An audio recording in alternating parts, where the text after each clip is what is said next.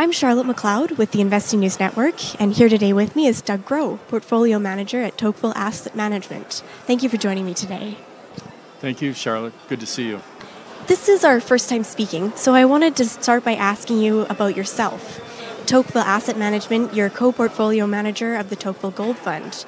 Could you tell me about the fund and your work at the company? Sure. Um, Tocqueville Asset Management is located here in New York. We manage about $11 billion. Of that 11 billion, about 1.7 billion is invested in gold and gold mining equities. And what we're trying to offer our clients is an opportunity to participate in the gold market as a hedge and alternative to monetary policy.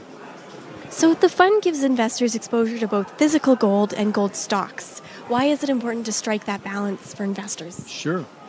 Well, in our mutual fund, which is about a billion dollar mutual fund, approximately uh, 12% of the fund is in physical gold. And that's gold that's vaulted outside the financial system. It's actually vaulted in a Brinks facility here in the New York area. And what we're trying to do is, through that fund, offer our investors direct exposure to physical gold. But in addition, we have exposure to the gold mining companies. And the gold mining companies offer a number of different attributes in terms of investment propositions. One is that they're leveraged to the gold price through their operations or through their assets, but also these companies are able to create value through the strategic initiatives they undertake.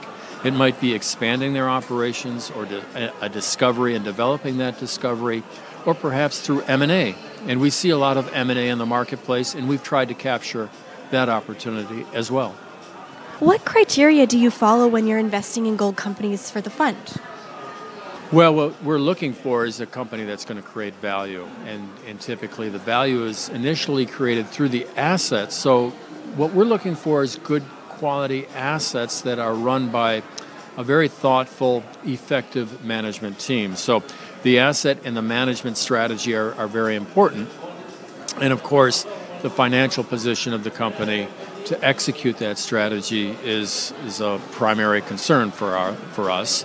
Uh, we want to make sure that they have sufficient capital, that they're able to access capital in the marketplace. If they don't have the adequate capital today, that they do have access to the marketplace so that they can develop their assets and realize the full value of their strategy.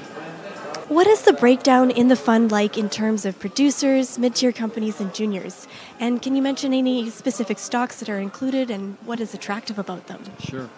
Um, well, I mentioned about 12% of the fund is in bullion. Mm-hmm. Um, another 35 or so percent is in larger companies, the larger mining companies, which includes the royalty companies, and about 15% of the overall fund is in the royalty companies, and that would be Franco Nevada, Osisko Royalties, Royal Gold, Wheaton Precious Metals. We have about 15% of the fund exposed to what we consider silver companies, silver mining companies, such as Pan American Silver. And we think of silver companies as those that are generating about two thirds of their revenue from silver production. Then another third of the portfolio is in the mid tier to the smaller companies that are able to effectively add value through their strategic initiatives and hopefully get a re rating by the marketplace. And then finally, the smallest percentage, I, I, think we're maybe down to 10 or 15%, even less, um, are in the exploration companies. We used to have more exposure to the Explo companies, but with the contraction over the last five or seven years, um, we don't have as much exposure there. Um, however, I think it's a very interesting part of the uh, gold mining spectrum because these are companies that are certainly undervalued and can create significant value. Um, and so we're beginning to take a look at that a little bit more um, uh, actively. Uh, Gold Standard Ventures is a name that we recently added. Um, so we're we're beginning to look at um, those companies in the North American market that, that might make a discovery. That's very exciting. We're here at Mines and Money in New York, and you came to talk about gold. Last time I checked, the gold price was about flat year to date, uh, despite trade war concerns and other geopolitical issues. Is now a good time to invest in gold? And why have we not seen more of an upward performance this year? Right. Well, you know, I think gold has actually done pretty well in the last Yeah. couple of years. Um, you know, in late 2015, it, it touched 1050 an ounce. Um, it had a nice progression into 2016 and 17. Here we are in uh, 2018, and the gold price has been up above 1300 through most of the year. Um, and it looks like it's very well supported. And I think it's well supported from a number of fronts.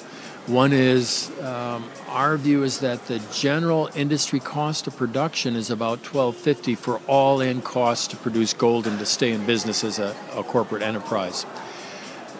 With that as a support, we would expect that investors are recognizing that we're at the low end of a of the curve as far as gold prices go. Gold has actually been in a rather tight trading range, uh, trading from the upper $1,200, $1,300 an ounce to the $1,370 an ounce. I think primarily because there's the view in the marketplace that there's other opportunities, whether it's in other equities or, or perhaps small cap stocks, uh, biotech, cannabis stocks, or cryptocurrency type stocks. Um, and yet, gold is doing what it's supposed to do. It's providing a hedge to monetary policy. You know, year to date, the dollar has been quite weak, and gold has actually done quite well. Um, I think over the much longer term, it becomes more important, where we see that with a credit driven economy that is creating more credit than can be um, uh, covered by the amount of growth that that credit is financing, over time, you have to devalue a currency to cover that credit. And so, over the long term, gold has a very nice profile because um, of the amount of credit that's being created, the deficits we're seeing here in the United States, uh, the tax bill that was recently uh, uh, established here in the U.S. Um, those are going to rob from the future, but to pay that future back, it's going to have to be done with cheaper dollars.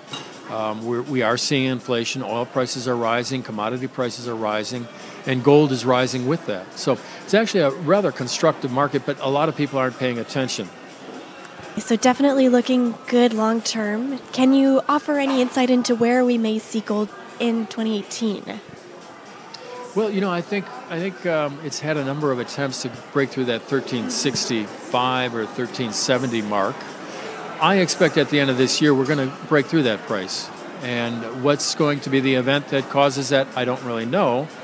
But certainly all the different aspects are building up, whether it's uh, the deficits or the geopolitical environment. You know, gold was very responsive in March um, over the Syrian attacks and with the North Korean developments.